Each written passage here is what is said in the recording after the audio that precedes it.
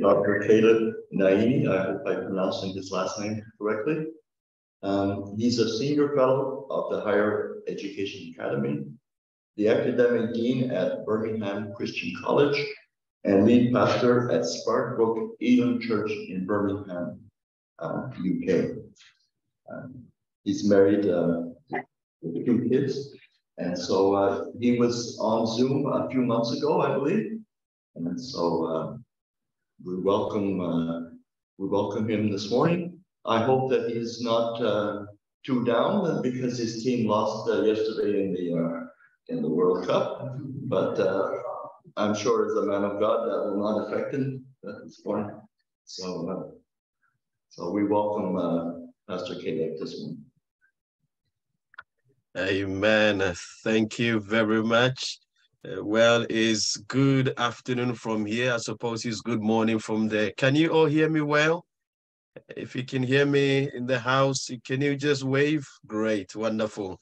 I know those online can can hear me, and so I'm glad that those of you uh, in there can also hear me. And uh, you you're right. You know the Spirit of God has lifted me, so I've not been affected at all yesterday with the defeat of England. I wear two hats, you know, and both hats have been taken off. Um, so I'm from Ghana originally, and Ghana was knocked out earlier in the World Cup. Uh, and then last night also England. So God is saying to me, only support Jesus. And that's what I'm doing now.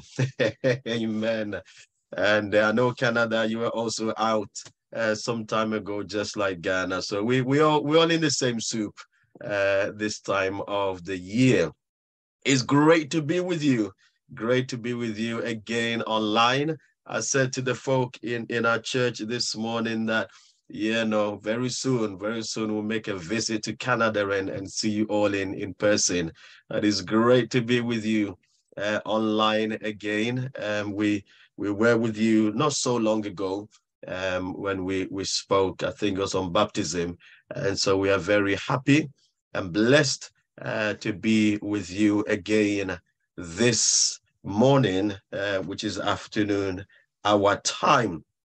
And, and the scriptures that we uh, that was read to us by our dear sister, thank you very much. And she spotted that in terms of the promise or the prophecy and its fulfillment, the prophecy and its fulfillment. And that is what I want to speak um, into or speak about this morning, your time. And it's about the miracle of Christmas, the Christmas miracle. We in that season now. Um, we thank God with all the things that have uh, happened throughout the year that by the grace of God, we've made it. Uh, a few more days left or two or three weeks and the year is ended and we're praying that God will see us through. But as we come around this season, um, just want to encourage us once again and lift us all up once again with the Christmas miracle. And also to encourage somebody out there who is waiting for a miracle and to encourage you that miracles still happen. Amen. Miracles still happen. God has not gone to rest. God has not retired from doing miracles. God is not tired from doing miracles. Christmas reminds us that the miracle working God is still at work. Amen. He is still at work. And so, if we begin from Isaiah, um, that prophecy in Isaiah, I'm speaking from the Christmas miracle. That is the topic that I'm speaking on, the Christmas miracle. In Isaiah, we read chapter 9. That story sort of starts from about chapter 7 and is a triangle. A triangle, you have God, then you have King Ahaz, and then you have the prophet Isaiah. And so, three people in the conversation in those three or so chapters that we're reading about. And some of you already would know that, of course, when the Bible, uh, the books were written, there were no chapters, there were no verses, they were added later. And so it was written as stories and narratives and prophecies for us to pick through. The chapters and verses sometimes are helpful, sometimes are not. If you want to understand a full story, read the whole story and not just a chapter. But what is happening with the life of King Ahaz is interesting. Ahaz was not a very good man. Ahaz would not be a popular president today or a popular king. Nobody would really want to serve under Ahaz. He was quite cruel. Um, he was not godly. He did not obey God's word, and he was uh, he, he, he loved to worship idols and wander away from God. But God, who is still merciful, God, who is still merciful, decides to help Ahaz. And this is how sometimes when you think about the mercies of God, you realize that not just Ahaz, we also don't deserve his mercy, but God is merciful. God is merciful. He is kind, He is generous. Christmas reminds us that God is indeed merciful and God is still having his grace and his compassion on us. In fact, three days ago, I, I, was, I was almost contemplating getting in touch with Roger and saying I might not be able to make it. On Sunday, my head was full of cold and, and sneezing and coughing. Um, but thank God, um, I'm a lot better, not 100%, but a lot better this morning. And, and it shows that God is merciful. Amen. It shows that God is still good and God as our sister who prayed, is still answering our prayers. And so God decides to help Ahaz, who is now being attacked by the enemy, and tells Ahaz that you have not been good, but I will still help you. And, and reassures the people of Judah, the people of Jerusalem, that don't be afraid. When Ahaz heard that the enemy was coming in Isaiah chapter 7, verse 3, I like the way the NLT puts it. Uh, verse 2, it says that they, their hearts trembled with fear like trees shaking in a storm. Very good way to put it. Is that their hearts, the hearts of the king and the people trembled with fear like trees shaking in a storm. That is how terrified they were. But God spoke to them. He spoke to them through the prophet Isaiah, and he said, Don't fear. Verse 4 in Isaiah chapter 7, he says, Tell him, stop worrying. God is telling somebody this morning, stop worrying. It's coming round to Christmas, the birth of Jesus as we celebrate the miracles happening. Stop worrying. Don't fear. God is still in control. God is still in the business of doing miracles. And so, whatever you're going through this morning, whatever you're going through this season, the encouragement that God is speaking to us through the prophet is don't fear, don't worry. God is still in control. So, God strengthened Ahaz and the people through this. And he promised them of a son that will be born, the sign of Emmanuel. And so that Emmanuel came. That Emmanuel was born in that time, but we know that that was not the one who was to reign forever. It was a sign. And then in chapter 8, the Assyrians are coming again. There's more bad news coming for Ahaz and his people. And you know, sometimes when I was going through this story, I, I was just thinking through how sometimes in this world that we're living in, we, we sometimes get a season of bad news after bad news. We, we get a season of one thing after the other. And in, in our own church here in, uh, in Birmingham, England, we, we had a season, a, a, very difficult season where our church building went through a, a lot of re, refurb, not because we wanted to particularly, but because we had to, because things were breaking down. Um, and from one thing to another, we had to fix the whole front of the building. And just as we're finishing, our boiler also packed in. Um, and then even last night, electric's gone, and we're thinking, how are we going to cope this morning? Because we had a baptism this morning, and we were on the on on on the brink of canceling that. But in the last hour, God stepped in the boiler, which had not been working for three weeks, giving us a lot of problem, all of a sudden started by itself. the electrics which had gone off all of a sudden came back again. And so this morning we're able to have the baptism services in a nice warm church and God was glorified and people were blessed.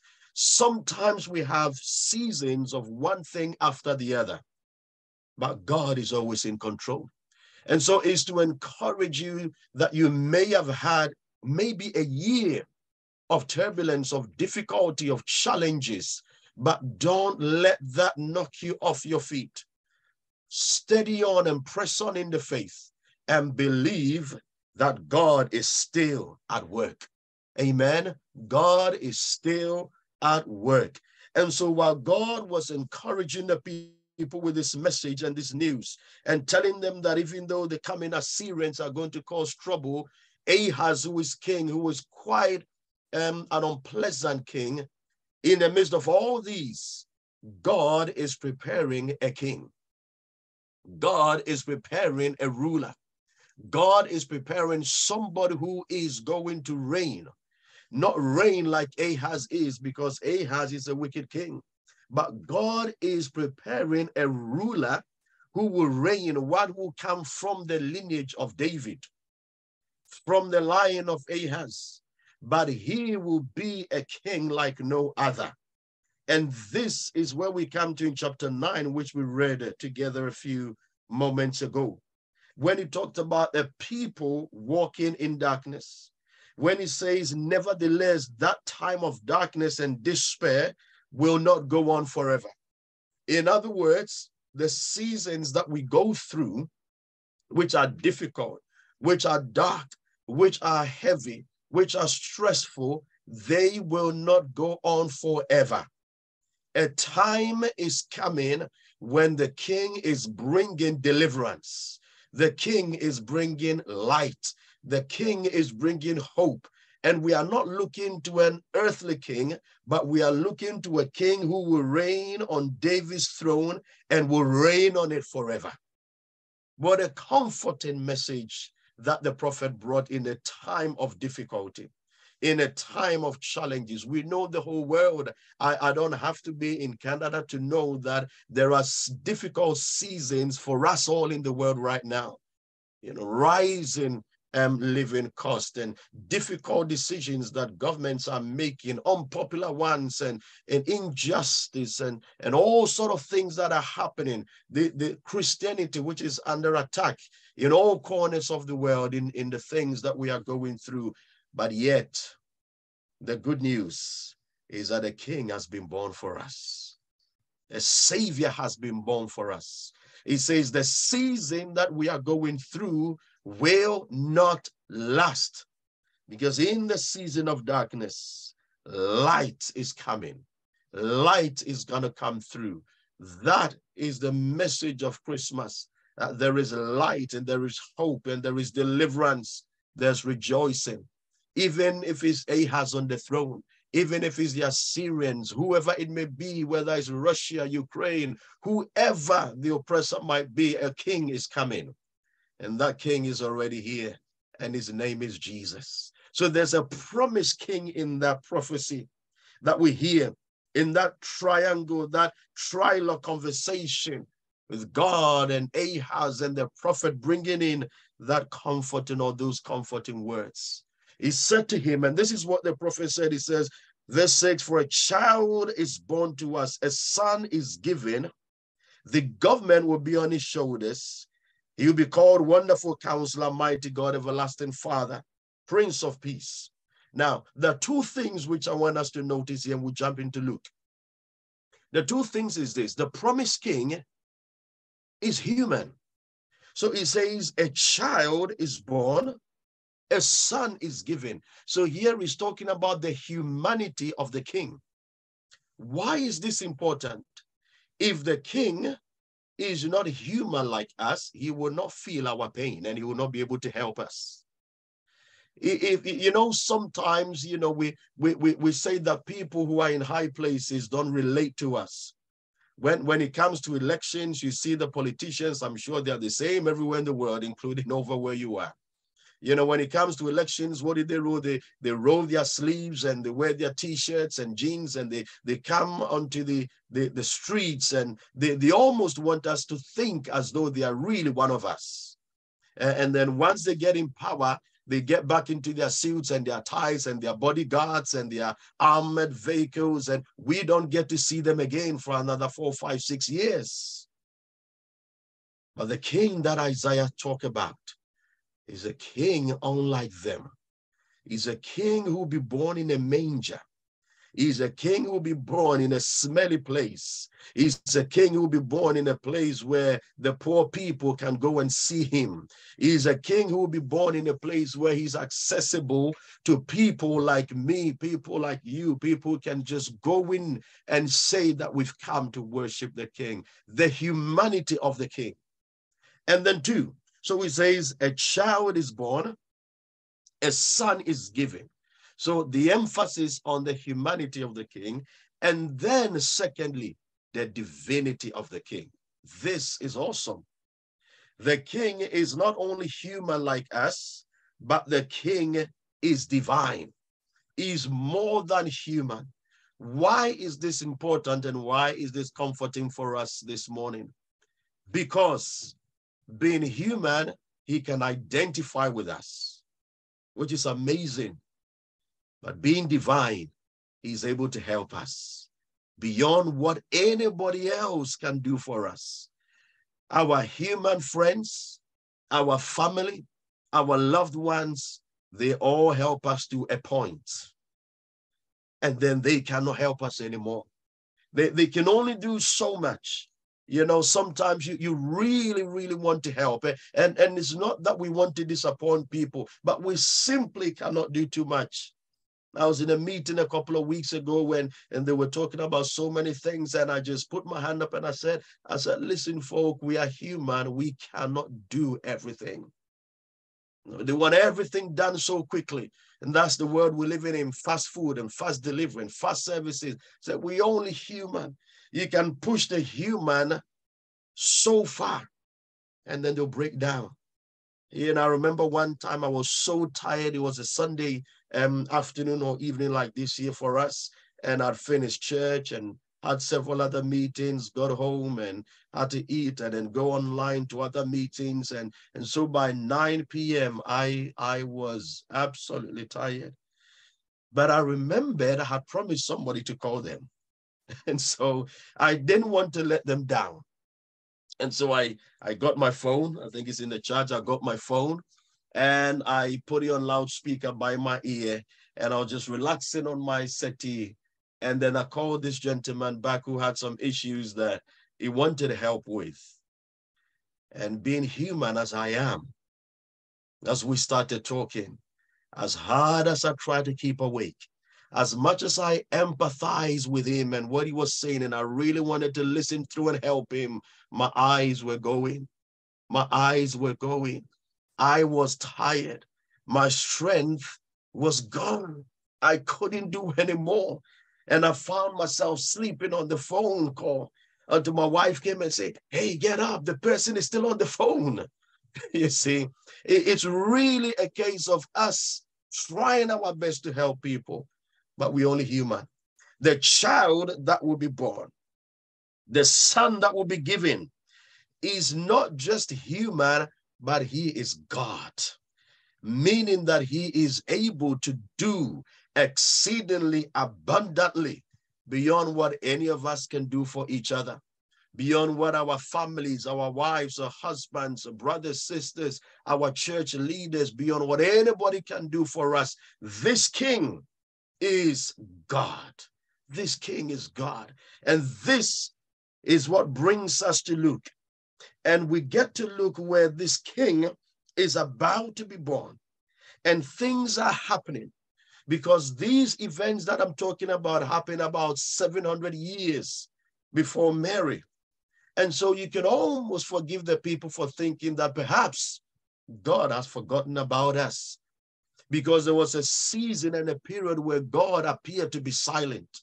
And I say appear to be silent because God, even when he appears to be silent, is still working.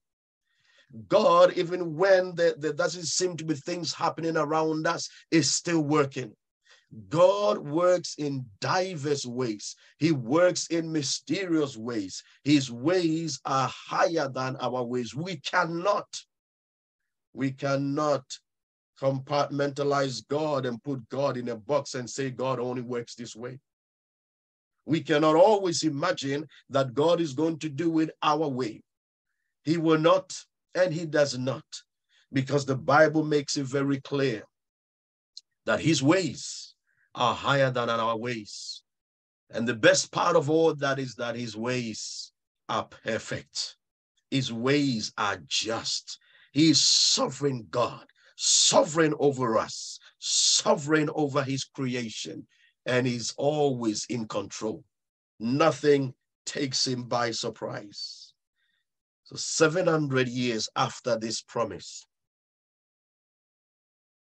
there's a young maiden, a young lady, a young virgin, Mary, her name, as we all know very well, is sitting there, minding her own business.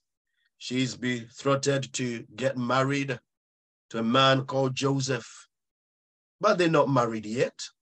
They're not even living together. They have not had that marriage consummated. Joseph has already said, and in some cultures still do that today. I got to find out myself when I, I went back, as I said, to um, where I was born, Ghana, um, in the summer this year.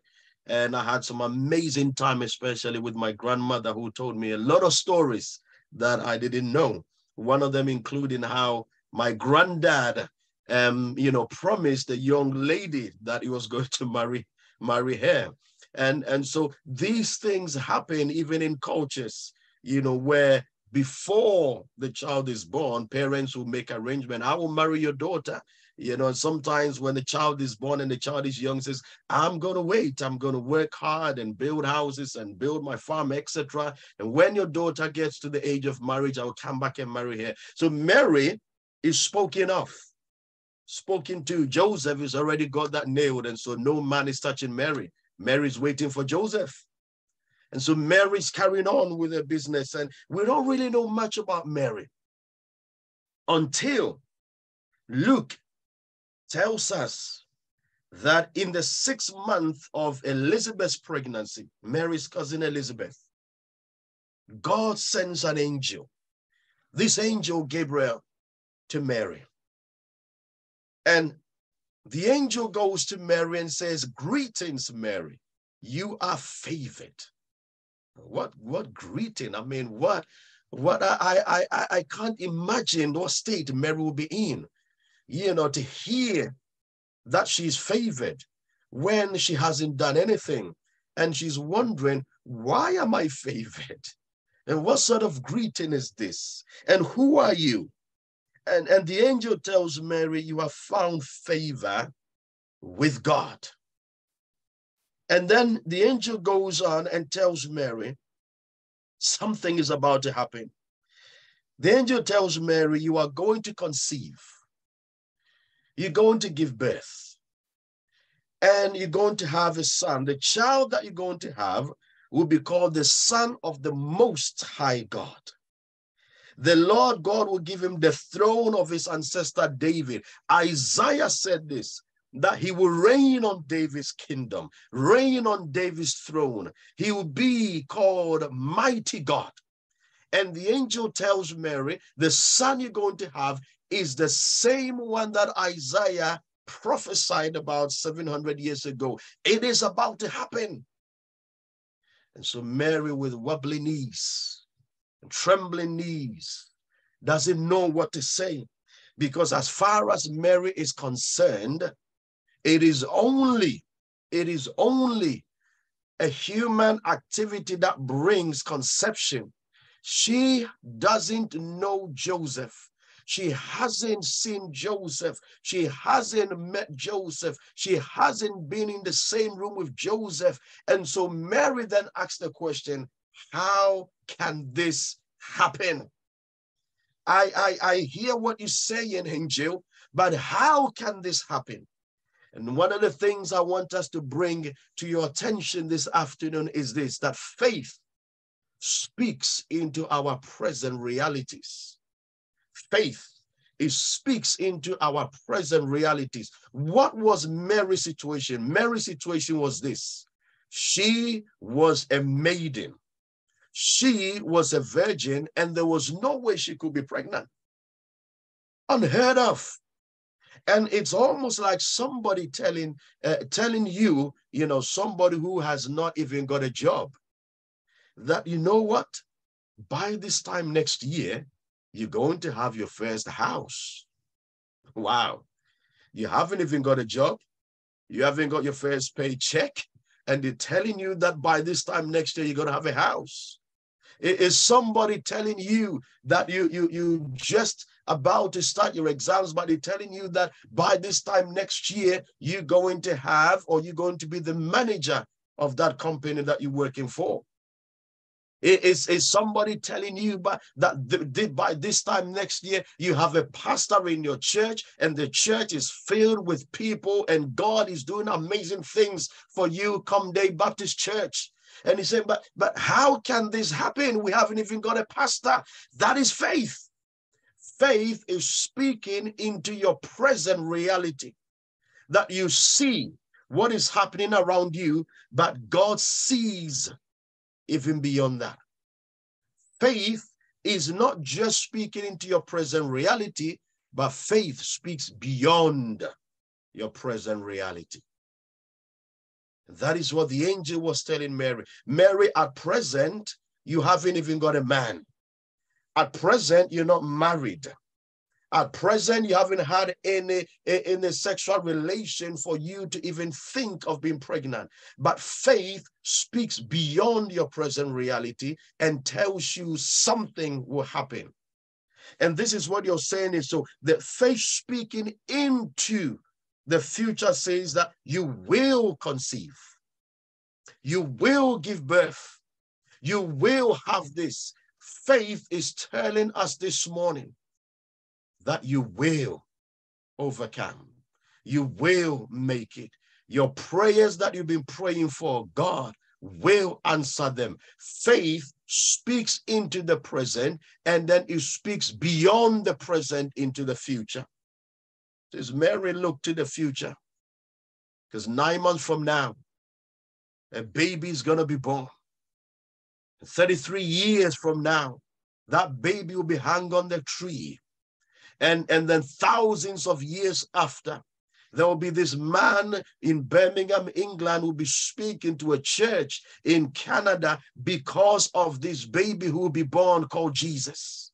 Because of the cross, because of the blood, because of what this baby is doing, is speaking thousands of years into the future.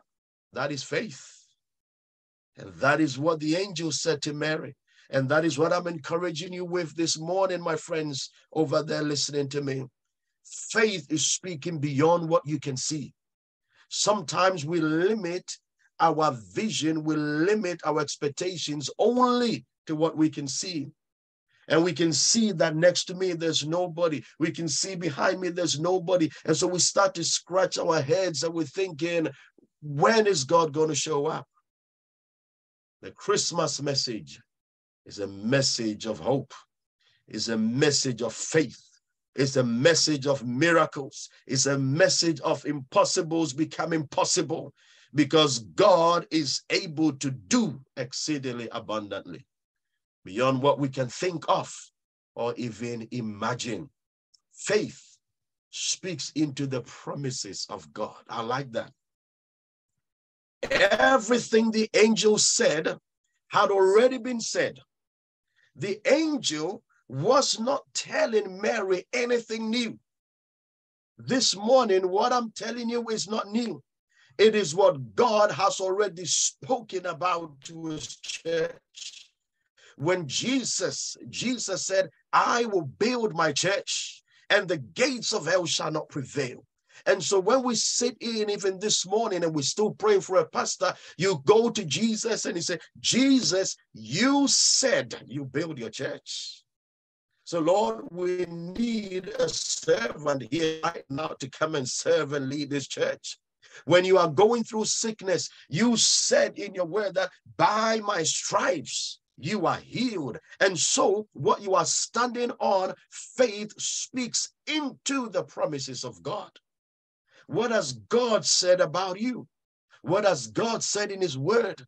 That you're struggling. Some some people are struggling to sleep and you're not having a sound sleep. And then His word says that He will keep in perfect peace those whose minds are steadfast on Him. Says He will give you a peaceful sleep. You know, he will make you have a good rest tonight if you haven't been sleeping for a while. I want to encourage you that based on the promises of God, that you will. That if you're going through the challenges and the struggles of life by the promises that God Himself, it is God who declared it in the garden. The promised Messiah started from Genesis. It did not start in Isaiah the promises from Genesis chapter 3, when God Himself spoke about the seed of the woman. And God revealed Himself to Abraham when Abraham and his wife Sarah had passed the age of conception. God reminded them and used that miracle to remind his people that he has still not forgotten about them. And then in the same uh, history in Numbers with Balaam and Balak, and God confirmed his word through them. When the prophet said, I see him, but not now. I behold him, but not he, not near. A star is born, a king is born, a scepter is in his hand. Talking about Jesus. David the Lord revealed himself to King David, Second Samuel, and when he tells him that you, your son, will sit on your throne forever. Yes, it's not Solomon. No, but we're talking about Jesus. He reminds them in Nahum, he reminds them in Isaiah, he reminds them in Zechariah, he tells them that, but you, O Bethlehem, though you are small, out of you will come the Messiah. And all the angel was doing was telling Mary, Mary, the promises that God has already spoken about are about to happen.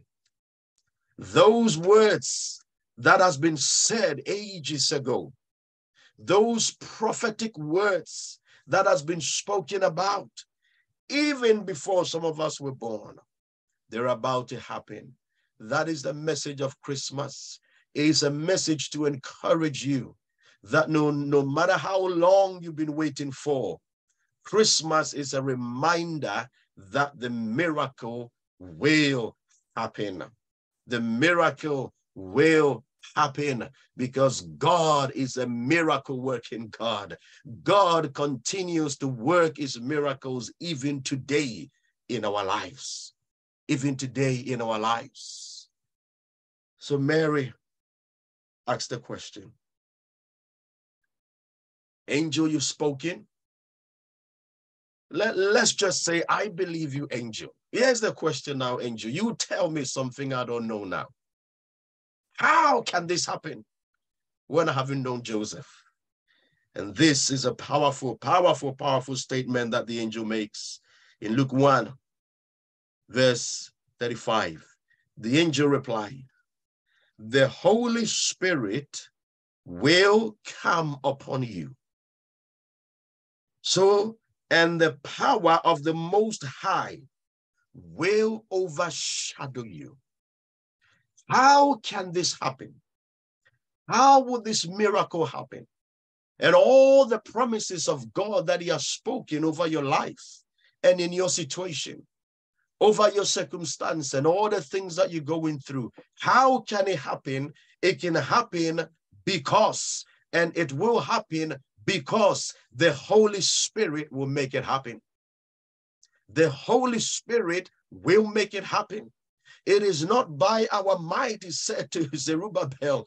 It's not by your might, it's not by your power, but it's by my spirit, says the Lord. The miracle that you're waiting for, the story that you're waiting for its completion, the testimony that you're looking for, it will happen. It will happen because the Holy Spirit will make it happen. It will happen because the Spirit of the Most High will overshadow you. You know, sometimes we have so many strategies, you know. We like strategy this and we make these plans and we make those plans. And we like to, because as humans, we, we, we need to see the picture. Hmm. We want to see. And, and when we don't see, we are not convinced sometimes. And that's what happened to doubting Thomas, isn't it? And Jesus said, Blessed are you when you believe without seeing. And, and, and sometimes we want to make sure, you see, when, when the angel went to Abraham and said, Yeah, by this time next year, your wife Sarah conceive and have a baby, and Sarah laughed. Says, ah, I've gone past, come past my date. That's not going to happen. Sarah didn't see it happening. If somebody tells you that by this time next week, this will happen in your life, and God is speaking to you and says, Yeah, well, but I can't see it. Because all we can see are the letters from the doctors. And we, we see we see the notifications on our phones.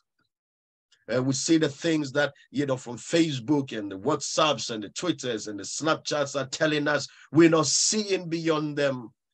And God is calling us this, this morning to look beyond what we can see. Because the Christmas story tells us that miracles are still happening, that wonders are still happening, that God is still in the business of doing amazing things. And he does it how? Because of his spirit. The spirit of God will come upon you. The things that you are waiting for today, this season, will happen because the Spirit of God will make it happen. The power of the Most High will come upon you. And I like how what the angel said. He did not just say the power of, of, of high or the power of, he said the power of the Most High. In other words, the power of the incomparable God, the power of, of the God whom no one can understand, whom no one can compare to. This powerful God, his power will come upon you. This powerful God, this awesome God, this most high God, his spirit will overshadow you and will make the miracle happen. That is what I want to encourage you with, folk, this morning. God will make it happen. In Isaiah, he uses a word which I love so much in Isaiah 9, verse 7, just at the base of that scripture we read. Excuse me. He used a word. It says, the zeal of the Lord Almighty will accomplish this. I love that. The zeal of the Lord Almighty. In Luke, it says, the power of the Most High. Isaiah, it says, the zeal of the Lord Almighty. And, and you see, zeal in the in the Middle East, the Near East ancient world, they use the word zeal to talk about the jealousy of the gods. And so when gods are in battle and, and they talk about zeal, they say that the God is jealous, who jealously guard what belongs to, to the God.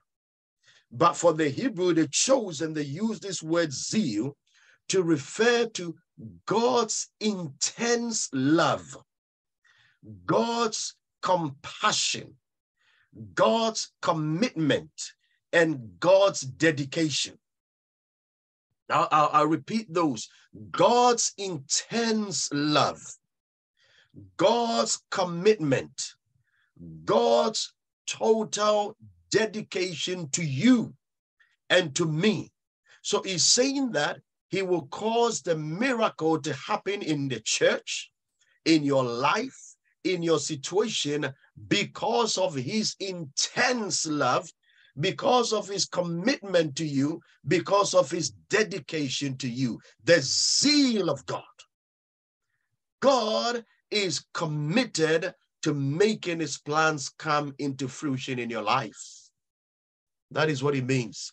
God is committed to make it happen. And so nothing in this world, Paul reminds us in Romans 9, he says, nothing, Romans 8, nothing in this world, neither scheme nor height, no principality, no demon, no sickness, no famine, no sword, nothing will separate us from the love of God, from the plans of God. God is committed to making his plans come into fruition in your life. God is committed to making his plans work in your life. This is the message that he gave Mary. The Spirit of God will make it happen. The zeal of God will accomplish this. That is how the miracle will happen. Not because we've got it all planned out, not because we've worked it out. One add one will make two, and three add two will make five. And we work those out in our human minds and understanding. But we are dealing with a God who can use five loaves and two fish to feed 5,000. We are dealing with a God who waits for Lazarus to go in the tomb and still steps there and says, Lazarus, come on, get out, let's go for dinner. We are dealing with a God who, when Paul and Silas are bound in shackles, creates and causes earthquakes, and he says, Come on, get out, fellas. And they get up and baptize prisoners and their households. We are dealing with a God who, when doctor says that your time is up, God says, I have not finished with you and he's still working with you because he's got a purpose for your life. This is the God we are dealing with. And he says his power and his spirit will make it happen. That was the answer that he gave Mary. What is our response as I begin to draw my message to a close? God is still in the business of doing miracles. Christmas reminds us that miracles still happen. The prophet Isaiah gave the prophecy. He talked about the king who was coming, his humanity and his divinity. And then the angel appears to Mary 700 years after and tells Mary, Mary, the time is now. The time is now. And this morning I came to tell you the time is now. The miracle is happening.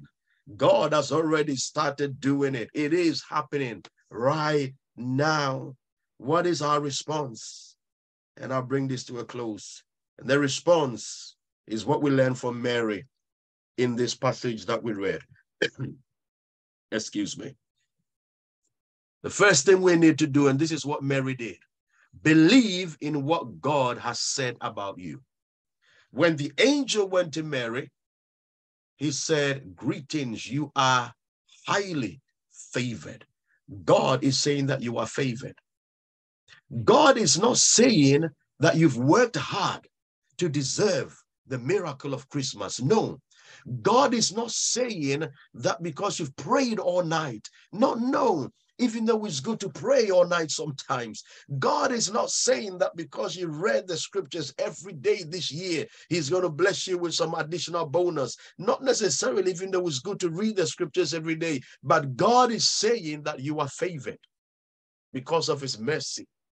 You are favored because He's a gracious God. You are favored because He has called you. You are favored because He loved you.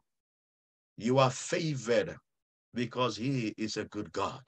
Believe in what God has called you. Believe in that. The angel went to Mary and says, Greetings, you who are highly favored. He didn't just go and say, Greetings, Mary. No, that would have been an ordinary greeting. Mary would have been used to everybody go, Hi, Mary. Hey, Mary. Hi, Mary. Says, No, greetings you who are highly favored, believe. Number two, the second thing I want us to take from this is this Look at what God is doing in, in others and be encouraged. Look at what God is doing in others and be encouraged. Sometimes we get a little bit caught up in our own little bubble. What do I mean by that? Sometimes we only look within. I've been having this problem all year. Nothing seems to be working. I've been having this challenge all year and nothing seems to be happening. No, no, no, no, no. There's something is happening.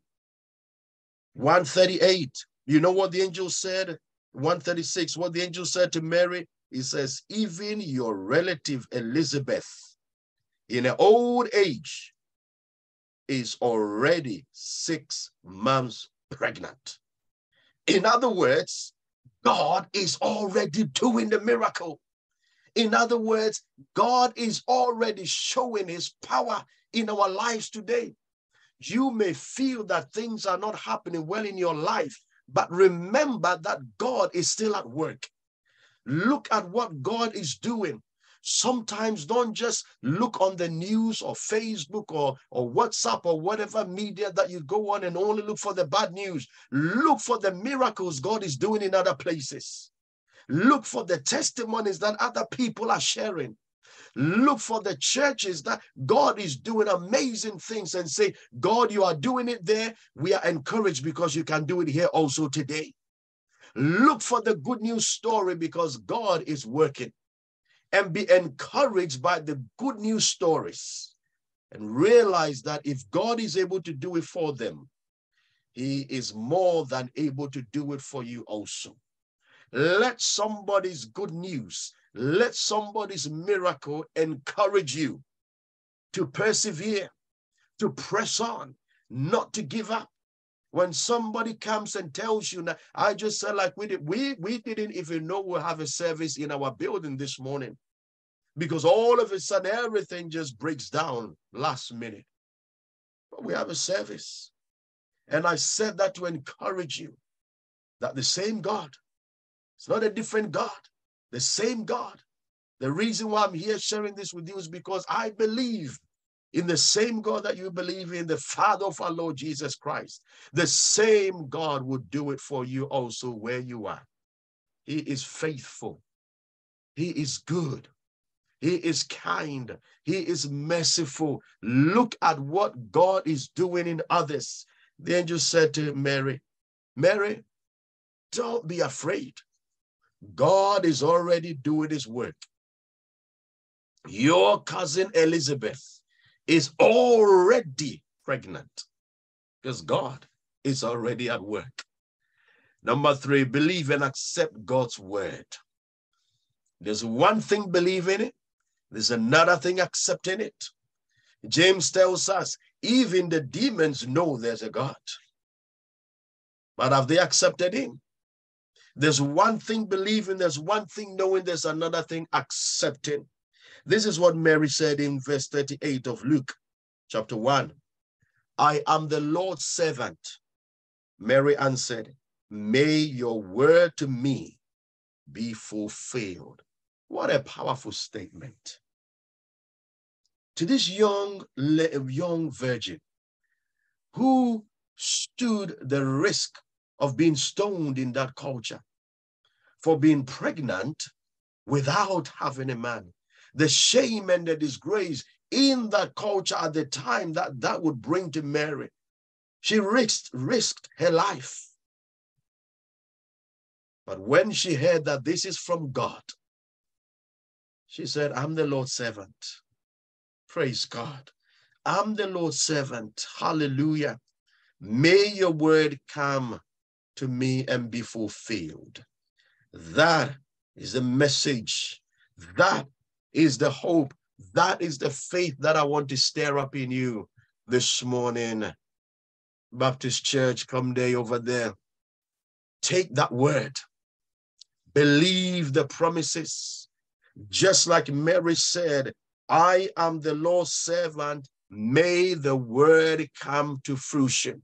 May the word come to be, may the word come to what? Fulfillment. The angel said, For no word of God will ever, will ever fail. The word of God will never fail. For no word from God will ever fail. May it be fulfilled. And then finally, surround yourself with people of faith. Surround yourself with people of faith. That is the final point that I want to encourage you in terms of what is our response to what God is doing this Christmas and what God is about to do in the new year. Surround yourself with people of faith. Believe in what God has said about you.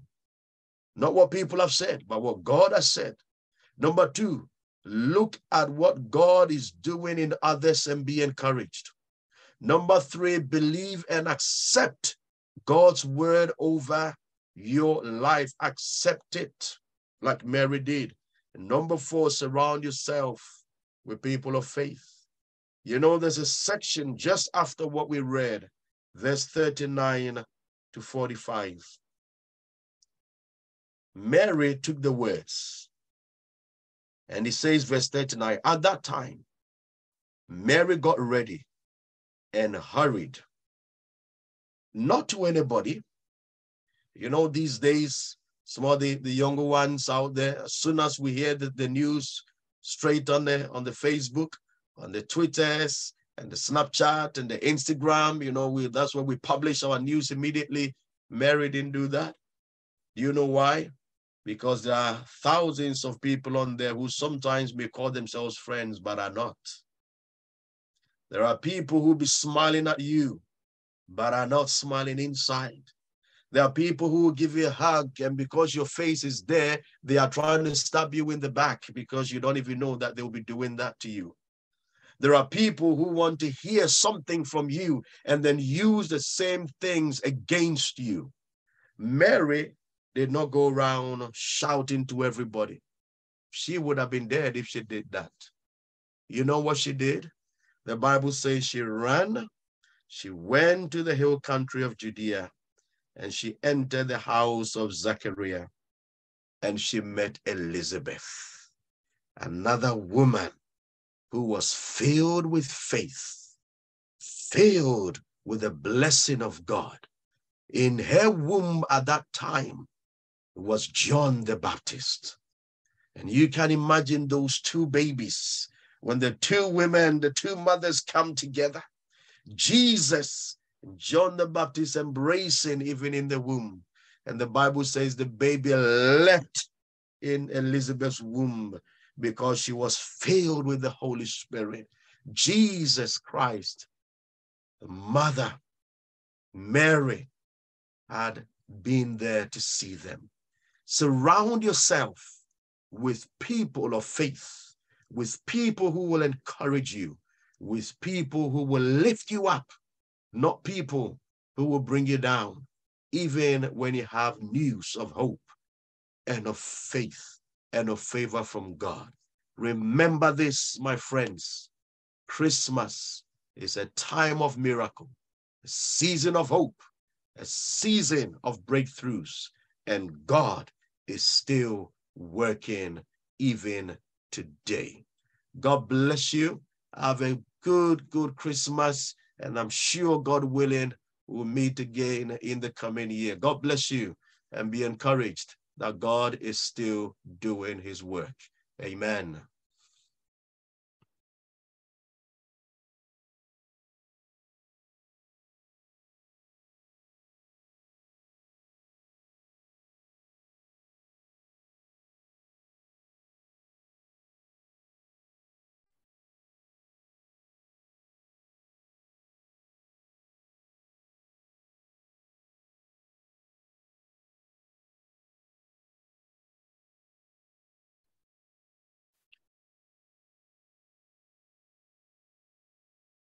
Thank you. Thank you, Pastor Caleb. Um, as you as you were speaking, that phrase came to me when um, when they're on the road to Emmaus, and afterwards they uh, Jesus was revealed to them, and then after uh, they said, did not our hearts burn within us? And this morning I felt like that, you know, my heart burned within us as, as I listened to God's word this morning. And, my, and my, my soul was refreshed and my spirit was refreshed this morning with God's word. So praise God. Uh, we'll just, uh, we'll just quickly, uh, we had a, re a, request for a song this morning, so we will do it. Uh, number, if we can stand and sing number 428. I need thee every hour.